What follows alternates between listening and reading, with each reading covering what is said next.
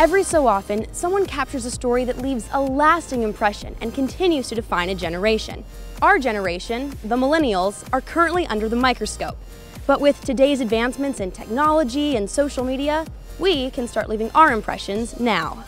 Marcus Haney is one millennial who is captivating young Americans and inspiring them to rethink the avenues they need to follow in order to achieve the career of their dreams.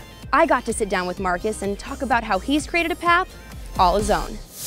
So you went to USC and now you're back here to screen your documentary, No Cameras Allowed. When did you decide to turn this journey into a documentary? That's a great question. It wasn't until like after a bunch of festivals and I had all, I made all these little short films and then I started like piecing them together and piecing them together and then finding out, and like, wait a second, we've got this much, not quite enough to be a documentary, but I still want to go to, you know, there's still more festivals to go to. Then it could be, you know, more geared towards, towards a documentary platform. What would you say to someone who says that your documentary sort of defines our generation or the millennial generation?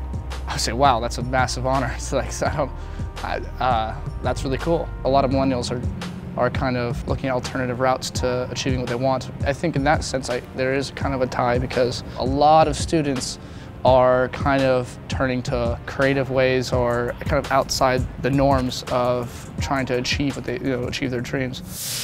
USC has given students the opportunity to screen Marcus's documentary and talk to him about his journey. How do you think this experience has changed you?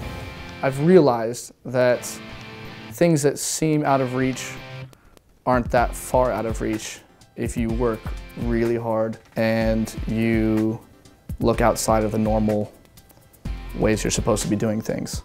Check out this clip of No Cameras Allowed and see what students had to say about the film and Marcus's story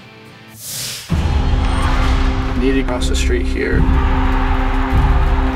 cut through, jump the fence, past this guy, then we're clear. Backstage Coachella day one.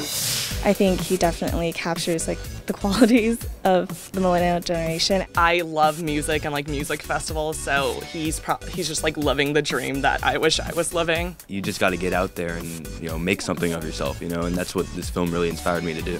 Since this adventure, Marcus has continued to do what he loves and even made it his career. Who knows? Maybe one of his photographic stories will come to define our generation. Be sure to check out No Cameras Allowed on MTV and in select theaters. Reporting for MTVU at USC, I'm Tiffany Taylor.